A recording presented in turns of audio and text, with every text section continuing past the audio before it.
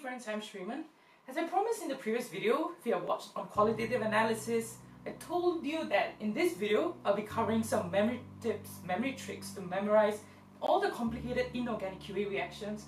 So here I have hmm, a half complete mind map. And you're probably gonna ask me why in the world is it half complete? I want to help you, okay? Because in every single video, I'm just telling you the content. I want you and me to recall the content, retrieve all these equations from your brain and reproduce it. So we are going to do this together, okay? So in this video, I actually wanted to cover NaOH aqueous NH3 as well as Na2CO3 in the next slide. So I'm going to start with NaOH aqueous, okay? So they give you a test tube during the Q&A, during the QA, sorry, and then you need to add NaOH aqueous. First thing you should do when you see NaOH aqueous, right, is number one, expect a PPT. This is a really important one. So, okay, we're gonna add NaOH aqueous dropwise into the test tube. Let's visualize this. Now, there are two things that can happen. Either there's a PPT or there's no PPT, which you guys know. So let's look at this. One, there is a PPT. Yay! So when there is a PPT, right, you are testing for a cation. I, I believe you guys know this, what, what a cation is. So the charge of the cation becomes the number of OH. And what do I mean by that? Let me write it down for you guys. Right here. You have a 2 plus charge, cation. That means that in the in the, the precipitated form, it will form OH2. So the magnitude of the charge is transferred as the number of OH. Simple? Yes.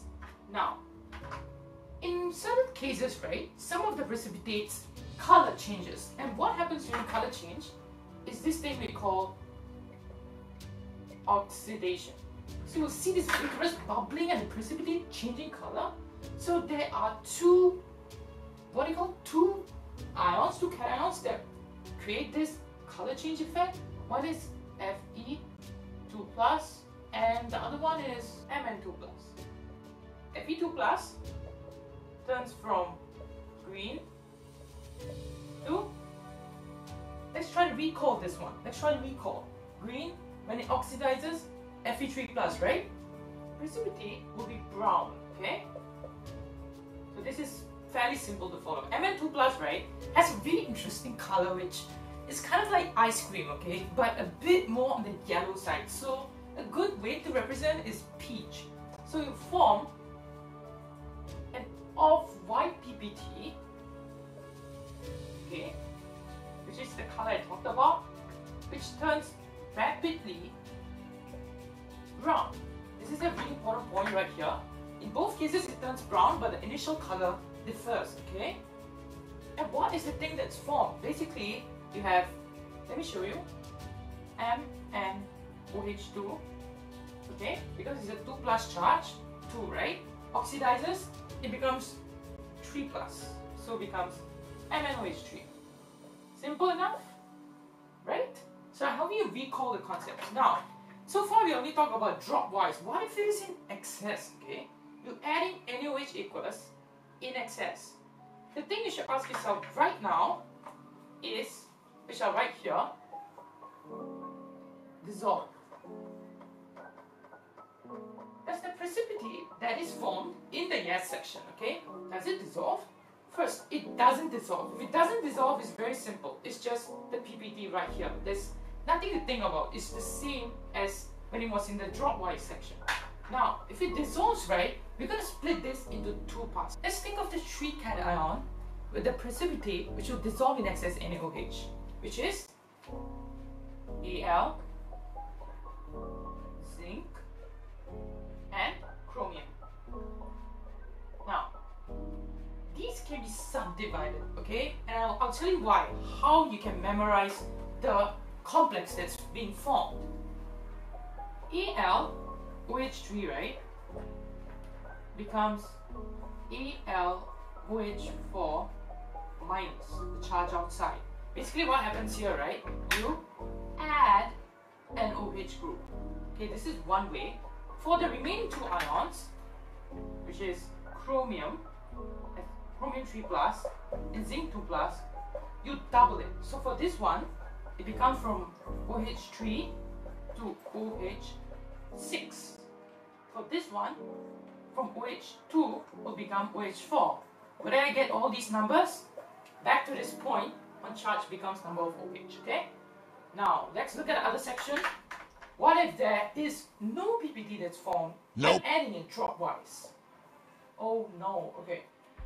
If there's no PPT, there's two ions that's possible. Barium 2 plus and calcium 2 plus. But most exams, right, will test you on barium. Maybe mixing it with sulfate ions or something. Calcium is a little less common, so just note this difference right here. From any drop wise, right, they will proceed into two parts. Okay, there's no PPT, and we're like, what the hell, man? So it will proceed into two parts. Either they ask you to do aluminium, add a piece of aluminium foil and heat it. In this case, let's recall what are the ions you're testing for. And in this case, it's anions. Think about it. Okay? NO3 minus and NO2 minus. And the subtle difference, if the if the test goes on right, the subtle difference between these two is you use H plus. So any acid, you add it to it, right? Both of them will give different observations, which I wouldn't explain. You can see itself, you can see it for yourself in your own school notes. Alright, there's no aluminium foil, they just ask you to heat, and this is a key, key test for what ion? NH4 plus. Because once you have NH4 plus in the heat, right, you produce NH3 gas. And what you do is get ready litmus. Okay? What do you mean by litmus? Get ready your red litmus paper. And make sure that this litmus paper is damp. I can't emphasize the importance of this. A lot of people don't damp their litmus paper and then the test becomes false. So this test for NH4 plus. And what is the other arrow pointing to? This is a bit more, a bit more rare, okay? Now give me, let me give you the ion. Cu2 plus, okay?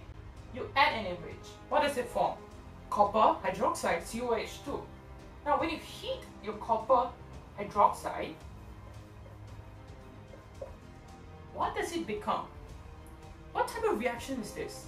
This is a decomposition reaction, and when this decomposes, it will form copper oxide, which is color of this marker. Okay? And that is all for NaOH aqueous. So we are going to go to the next one. Take a small break if you'd like to NH3 aqueous. Now when you're adding dropwise, if there is no PPT, which is the first case, it's back to the same thing. It's barium or calcium, okay? So it's back to the same thing. Ba2 plus, Ca2 plus. It's pretty similar in fact. Both of them are almost the same, okay? Now, you're adding NH3 and you see a PPT.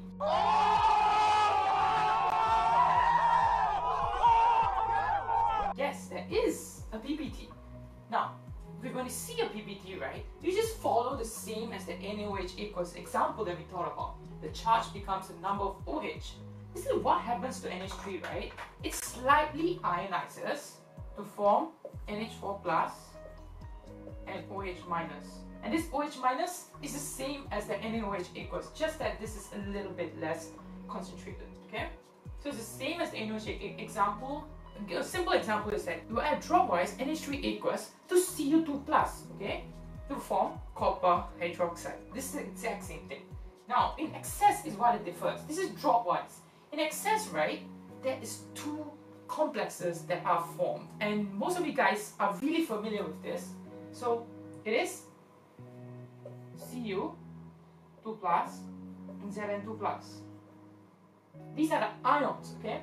So what are the complexes that are formed? Cu, NH, 3, 4, 2 plus, and zinc is the same thing, okay? And pretty much, that's it. That's it for NaOH aqueous and NH3 aqueous, okay? Next, we're gonna proceed to sodium carbonate. And this exact, this entire picture is in the description for your own reference, okay? Okay, I have Na2CO3 aqueous test. Okay, they ask you to add Na2CO3 aqueous to a test tube. And the first thing I want you guys to understand is that comes before P. And I'll tell you guys why, okay? You're adding CO3 to minus. Okay, and let's look at this equation and imagine that the test tube contains Fe3 plus, and this is just a complex, okay, of Fe3 plus. This thing will strike this thing, will react to produce CO2 gas, which is responsible for the effervescence. Now, once this is consumed by Le Chatelier principle, if I got it right, the equilibrium will shift to the right. So then this will shift to the right and produce the PPT. Okay, this is just a simple explanation. Alright? So please note this point as we move to this five scenarios that Cambridge loves to test. the five cases, okay? Let's have three things that could be inside the test tube. H plus, some 2 plus ion, and some 3 plus ion. Let's try to fit each of these in each of these categories, okay? Follow along with me. One, you just have effervescence. There's no PPT formed when you add any CO3 to minus. So this indicates that it just contains H plus, okay? H plus reacts with your carbonate ions to form your CO2 gas. Simple, right? You white PPT. This is a bit interesting. I'll go into this one later. Let's look at 5 first. Just a white PPT. If it's just a white PPT, then it's just an X2 plus. Okay? And some of you guys will ask this question.